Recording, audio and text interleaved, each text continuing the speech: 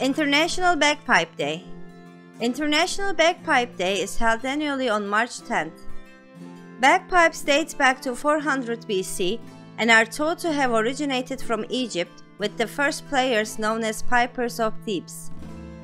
Bagpipes are distinct and unique musical instrument that hold a special place in certain parts of Europe such as Scotland and Ireland.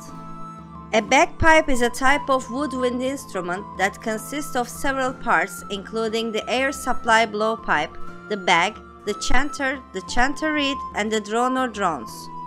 The chanter is the melody pipe that can be played by the piper, whereas the drone or drones provide a constant note.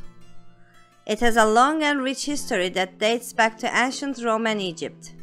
In the early of second millennium, Clear evidence of bagpipes began to appear frequently in Western European art and iconography. They were also popular subjects for carvers of wooden choir stalls throughout Europe in the late 15th century and early 16th century. Andy Letcher and Cassandra Balosso-Bardin co-founded International Bagpipe Day with the International Bagpipe Organization and the Bagpipe Society. Since 1986, the Bagpipe Society has been actively involved in bringing together new bagpipe players in order to preserve the history and practice of bagpipes. Cassandra came up with the idea of organizing a bagpipe conference as part of his efforts to promote the diversity of bagpipes to a wider audience. The first international bagpipe conference, which gathered musicians and instrument makers from all over Europe, launched International Bagpipe Day worldwide.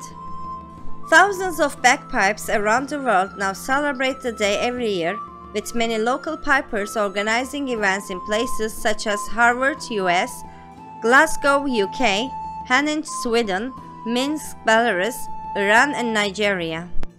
This is an ideal day to learn how to play the bagpipes, Watch online tutorial videos or better yet, find an experienced piper willing to put you through your paces. Who knows, you might be on your way to a career as a professional piper.